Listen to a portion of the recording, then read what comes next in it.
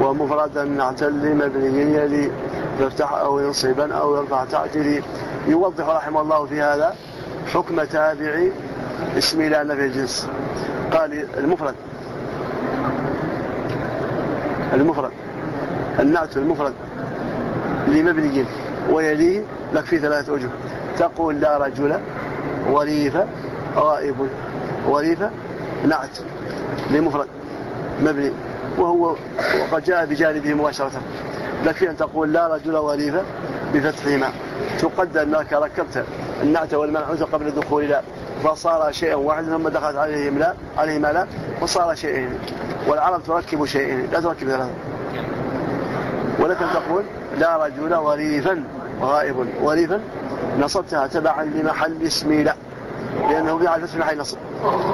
ولكن تقول لا رجل وريف غائب وريف رفعته تبعا للأ مع اسمها لأنهما محل معا حل محل المبتدا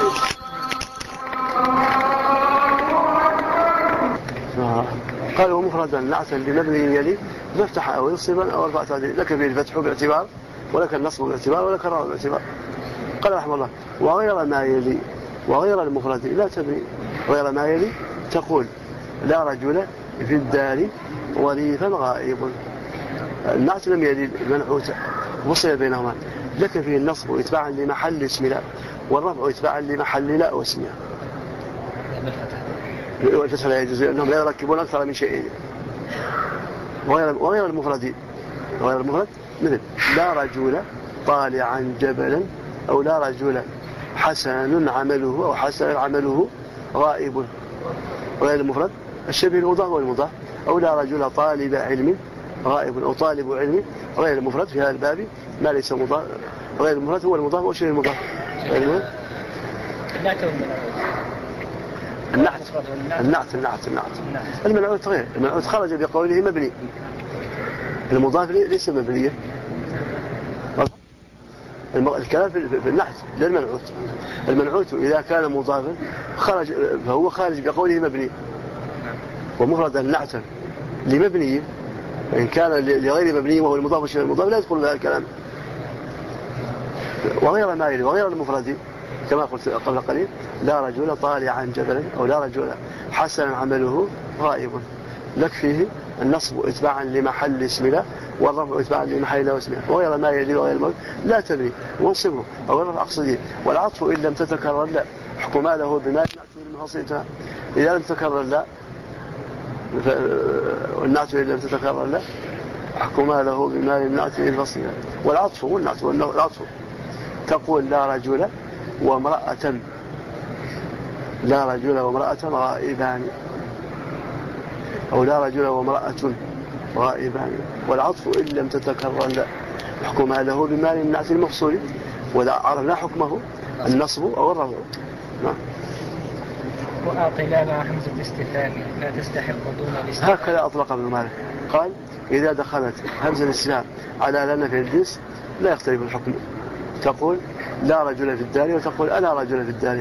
وتقول لا طالب علم محروم وألا طالب علم محروم. واضح؟ وغيره فرق. قال إذا كانت الهمزة للاستفهام عن النفي أو كانت للتوبيخ فالحكم كذلك. التوبيخ كقول حسان رضي الله عنه ألا طعان ألا فرسان عادية إلا تجشؤكم حول التنانير. ألا عواء لمن ولت شبيبته. هذا توبيخ. والاستفهام عن النفي كقوله ألا اصطبار لسان أم لها جلد قال حكمه كذلك. وإذا كانت للتمني قالوا حكمها حكم ليت. لا يجوز إلغاؤها ولا إتباعها على المحل. قالوا بما هي بمعنى أتمنى. بمعنى أتمنى. لا يجوز إلغاؤها. ليس معنى ليت بمعنى أتمنى. لا يجوز إلغاؤها ولا إتباعها على المحل. ولا خبر لها. يعني معنى أتمنى. وقال بعضهم هي كالأولى. واستدلوا بقول الشاعر ألا عمر ولا مستطاع الرجوع. قالوا مستطاع إما خبر عن عمر انتقضت قاعدتكم قلتم لا خبر لها. أو نعت لها انتقضت قاعدتكم بقولكم أنه لا, لا أتبعه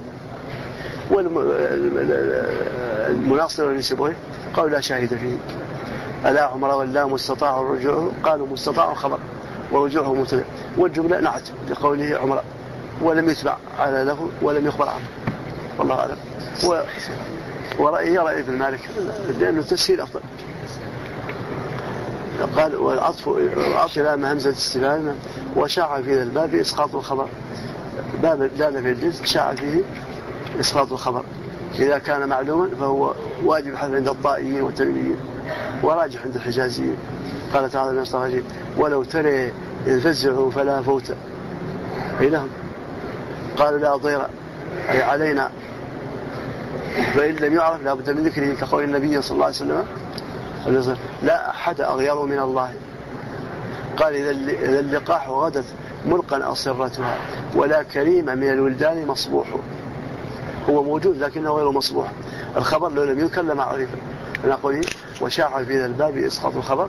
إذا المراد مع سقوطها والله